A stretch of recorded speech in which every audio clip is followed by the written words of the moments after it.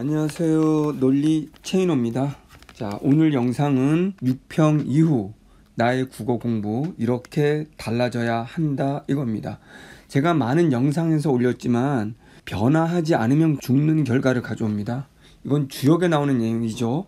여러분이 살기 위해서는 반드시 변해야 된다라는 겁니다. 여기서 죽는다라는 것은 여러분들이 뭐 진짜 죽는다는 건 아니겠죠? 일단은 좋은 결과를 얻어내지 못한다는 의미입니다. 그래서 분명히 여러분들이 열심히 했음에도 불구하고 이번 6월 모의고사에 성적이 나오지 않았다면 공부 방법상의 문제가 있는 거거든요. 요것들을 고치기만 하면 충분히 9월 수능에서 좋은 결과를 얻을 수 있으니까 이 영상을 통해서 다시 한번 공부를 잘할 수 있는 방법론을 찾아서 자신감을 갖게 되는 기회가 되었으면 합니다. 첫 번째, 나의 상황, 그리고 내가 시험을 보지 못하게 된 원인, 이런 것들을 객관적으로 점검하는 시간이 필요합니다. 지금 우리는 시험을 못 봤다고 절망하거나 또는 무언가에 대해서 불안한 감정들을 가질 필요는 없다는 겁니다. 자, 여기서 우리가 나를 아는 방법은 아주 간단합니다. 일단 여러분들 해설 강의를 보시기 바랍니다. 자, 해설 강의를 보면서 우리는 뭘 해야 될까요? 약점을 찾아내면 되는 겁니다. 그러면 나의 약점이라는 건 바로 뭐냐?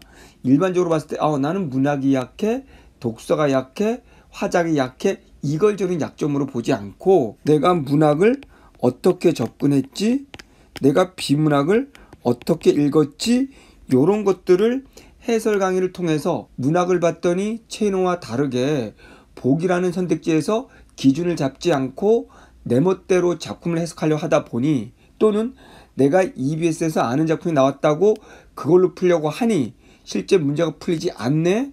아, 내가 접근법이 틀렸구나. 요런 것들. 즉, 해설 강의를 통해서 내가 그동안 공부했을 때 잘못된 이 방법들을 찾아내고 그것들을 아 내가 어떻게 하면 앞으로 할 수 있을까라는 걸 고민하라는 거예요. 어떤 영역이 약하다? 약한 건 알았지만 더 중요한 건 어떻게 이 문제를 풀어 나갈 건데 왜 내가 이 영역이 약한 건데 열심히 했음에도 불구하고 그것은 바로 단 하나라는 거죠. 바로 접근하는 논리적 방법이 틀렸기 때문이라는 거예요. 그래서 그것을 반드시 해설 강의를 통해서 나의 현재 상태를 점검해 보는 시간을 가지시기 바랍니다. 두 번째, 나를 버리자입니다. 나를 버리는 방법으로 해설 강의를 볼 때 여러분이 꼭 해야 되는 게 뭐냐면 나는 연습할 때 어떻게 했는데 실전 요번에 모의고사에서는 내가 어떻게 하는구나 라는 것들을 여러분이 일단은 스스로 파악할 수 있어야 돼요. 그러니까 자기 문제는 누가 파악해 줄 수가 없습니다. 아, 내가 평상시에 이렇게 했는데 실전에서는 너무 긴장을 해서 내가 그대로 적용을 못 하는구나. 분명히 내가 혼자 할 때는 기준을 잡고 그거에 맞춰 읽어서 답을 맞췄는데 실제 시험 가서는 내가 기준을 못 잡는가? 아니면 잡고자 하는데 너무 급한 마음으로 대충 잡고 있는가? 등등을 분명히 혼자 원인을 파악해야 됩니다. 그런 다음에 역시 이걸 가지고 해설 강의를 보면서 채인호는 저렇게 하네? 근데 나는 왜 저게 안 되는구나? 그랬을 때 여러분들이 아 그렇다면 내가 연습할 때 문제가 있는가? 연습은 잘하고 있는데 실전할 때 문제가 있는가? 라는 걸 고민해 보는 거예요. 대부분 친구들은 연습 때는 잘 됐어요. 실전에서 안 됐어요. 라고 말하는데 그게 가장 큰 문제는 뭐, 뭡니까? 분명 우리는 연습이라는 것은 실전에서 잘하기 위해서 하는 거거든요. 그러면 연습하는 과정이 틀릴 수가 있었다는 거죠. 예를 한번 들어볼게요. 일단은 채노가 분명히 자 독서로 말할 경우 대표적인 케이스로 자 당연히 첫 문장 보고 첫 단락 보고 예측하면서 읽으라고 했고 요약 정리하면서 읽으라고 했습니다. 하나 더 나아가서 분명히 체노는 한 개의 지문을 n번 반복하라고 했어요. n번 반복하면서 요약 정리도 n번 하라고 그랬어요. 그런데 과연 나는 그렇게 했는가? 라는 걸 궁금해야 됩니다. 주역에서 운이 좋다라는 것은 내가 평상시 100의 실력을 갖고 있는데 시험장에서 90이나 95가 발휘되면 운이 좋다라고 주역에서 말합니다. 그러니까 우리가 시험장에서 100을 내기 위해서는 200을 해야 되는 거예요. 그러면 과연 나는 시험장에서 100을 내기 위해서 200을 했는가? 내가 70만 하고 100을 바란 건 아닌 건가? 를 고민해야 된다는 거예요. 당장 이렇게 한 개의 지문을 두 번, 세 번, 네 번 반복해서 본다는 건 지루하고 싫기 때문에 안 하거든요. 그런데 체인호 이론 알잖아요. 한 번 보고 두 번 보면서 내가 한 번 보고 두 번 볼 때, 아, 정리하는 게 줄어들고 핵심이 줄어들면서, 아, 이건 필요 없었고, 이게 필요했구나. 라는 걸 스스로 깨우칠 때 실력이 올라가는 것이지, 체인호한테 뭔가 지식을 얻어서 오르는 건 크게 많지 않습니다. 그렇기 때문에 제가 알려진 큰 뼈대를 가지고 여러분이 여러 번 반복을 하면서 그 과정에서 스스로 깨우쳐가는 과정이 무엇보다 중요한데 난 이걸 했는가? 많이 안 했을 겁니다. 자, 우리 문학을 예를 들어볼까요? 보기. 보기를 분명히 단순해 보일지라도 정확하게 구조 정리를 하라고 했고 그런 다음에 조건부는 맞으니까 서술부를 보기에서 연결시키는 연습 조건부랑 서술부를 연결시키는 연습, 선택지 다섯 개를 보는 연습. 그러면 여기서 핵심을 잡은 다음에 여기서 답이 보이지 않으면 바로 어디 가라고 그랬어요? 작품으로 가라고 했단 말이야.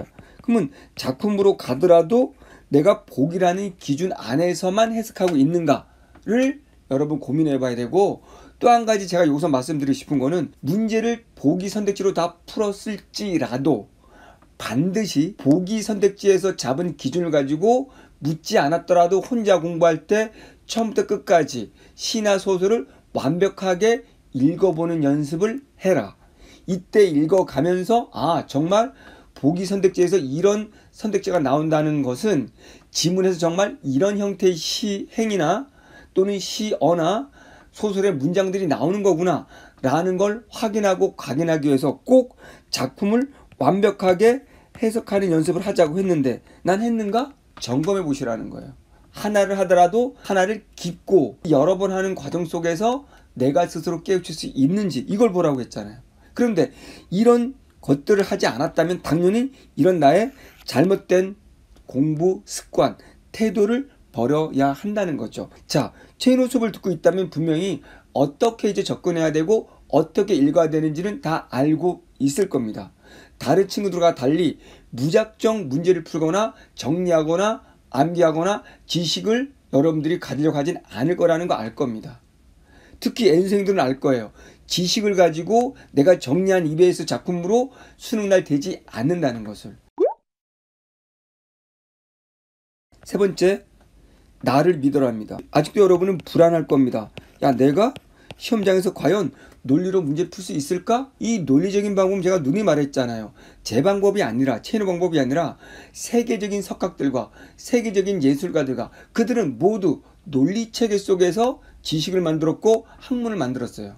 그리고 시험이라는 건 객관적 기준이 주어지지 않는 한 시험이 성립이 안 된다고 제가 말했어요. 그렇다면 끝까지 밀고 나가야 될 게 논리적인 공부법이에요. 그렇기 때문에 불안해하지 마시고 나는 지금 논리를 수능날까지 완성해 갈 것이고 수능날 논리 완성을 하지 못하더라도 난 논리적인 방식으로 가기 때문에 분명히 나는 지금보다 실력은 오를 것이다 라는 자신감을 가져야 돼요. 쉽게 말해서 불안을 이길 수 있는 것은 자신감이에요. 근데 그 자신감은 어디서 오냐면 논리를 체화할 때 온단 말이에요. 어떤 아픔이 있고 집중하기 어려운 친구도 논리라는 것에 대한 믿음이 있고 이것을 체하는 순간 점수는 나오게 되어 있습니다. 그러니까 여러분들도 논리 체하는데 분명히 시간은 걸릴 수밖에 없습니다. 근데 잘 보십시오. 문학 같은 경우 여러분들이 선택지를 보고 답이 안 보이더라도 복이라는 것만 가지고 지문으로 갔을 때 내가 해석을 하더라도 복이라는 기준 속에서는 벗어나지 않기 때문에 분명히 해석의 정답의 가능성이 높아지는 거죠. 또한 독서 영역에서 첫 문장과 첫 단락을 정확히 천천히 읽고 나머지 단락과 나머지 내용들은 그 범위 안에서 빠르게 읽는 습관을 기르면 내 멋대로 한 문장 한 문장 개별적으로 집중했던 것보다는 나아질 겁니다. 분명히 논리체 하는 거 힘듭니다. 저 역시도 오랜 시간이 걸렸고 여러분 나이 때는 저는 논리의 니은도 몰랐습니다. 왜? 어느 누구도 우리나라에서는 가르치지 않았기 때문이에요. 그런데 모든 학문과 시험의 본질은 논리체계이기 때문에 이것을 내 것으로 만드느냐 못 만드느냐가 내 점수가 점프하느냐 아니면 정치하느냐의 차이가 되는 거예요. 수능 국어의 본질은 지식을 묻는 시험이 아니야. 80분 동안 45문제 16페이지를 읽어가는 능력을 묻는 시험이야. 그러면 여러분들은 이제 여론을 믿어야 되는 게 나는 논리를 통해서 스스로 어떤 문제, 어떤 지문, 어떤 작품이 나와도 나는 논리라면 이것을 해결할 수 있어. 라는 생각 속에서 자신감이 생기는 거예요. EBS 작품을 정리하고 비문학 지식을 막 정리해서 이게 안 나면 어떡하지? 오히려 그거에 의존하면 불안하게 되는 거죠. 근데 복이라는 것만 모든 작품은 주어지니까 문학 다 주어졌잖아요. 비문학 서론 첫 문장 잘 읽으면 기준이 잡히니까 배경 지식이 없어도 문학 작품을 몰라도 나는 보기에서 뭐가 나오든 풀 수 있어 이 기준으로 그러면 자신감이 생기고 불안감이 사라지게 되는 거예요. 실제로 많은 친구들이 오히려 수능 때 더 잘 보고 시간이 더 세이브가 되는 이유는 수능일수록 더 논리적이기 때문에 여러분들이 끊임없이 놀이를 취하하면 분명히 여러분들은 수능날 좋은 결과를 가져올 것입니다. 그래서 지금 점수가 좀 안 나왔다고 슬퍼하거나 우울해할 시간은 없습니다. 다시 시작하는 겁니다. 나를 믿고 가는 겁니다. 네 번째, 이제 다시 시작입니다. 자신의 공부 습관을 고치는 것입니다. 천천히 하더라도 논리적으로 하는 거. 제가 지금 좀 전에 말씀드린 것들을 그대로 지키는 거. 특히 체인호 강의를 듣고 있는 친구들하면 과연 체인호가 하라는 대로 하고 있는가? 라는 걸 고민해야 돼요. 단적으로 내가 기본 강의를 많이 들었다면 실제로 기출 전문가를 통해서 실전 연습을 해야 되는 거예요. 나는 과연 정말 기본이 약한 건가? 실전 분석력이 약한 건가? 아, 난 채노가 하는 대로 한 것 같은데? 그러면 안 된다면은 아직 실전력이 약한 거예요. 그러면 기출 전문가를 통해서 실전을 해보는 것이고, 기출 전문가를 다 했다면 뭐 교육청 모의고사든 뭐든 일단 사설 모의고사 이기 전에 가지고 실전처럼 연습해 보고 가장 중요한 자는 배움은 어디 있다고 그랬어요? 깨지면서 배우는 거라고 그랬잖아요. 그러면 야 내가 아직 이런 측면에서 논리 적용이 안 되고 그래서 체인호 강의를 봤더니 야 아직 체인호와 논리적 사고가 이게 다르네? 라고 내가 깨지는 거야 자꾸. 깨짐을 통해서 상처를 통해서 성장하는 거기 때문에 이걸 가지고 다시 시작한다면 여러분 충분히 9월 수능 잘 볼 수 있으니까 여러분들 절망하지 마시고 슬퍼하지 마시고 제가 장담하건데 논리를 익혀 간다면 분명히 여러분은 성장할 것이고 성공을 할 것입니다. 그러나 논리의 시간이 걸리고 고통스러운 건 당연한 거니까 당연한 과정이라고 생각하고 인내하시고 한번 해보면 충분히 여러분 국어 잘 할 수 있으니까 다시 힘을 내서 꼭 도전하시고 긍정적으로 1등급 받는 모습을 상상하면서 논리로 이제부터는 즐겁게 공부해 보시기 바랍니다. 감사합니다.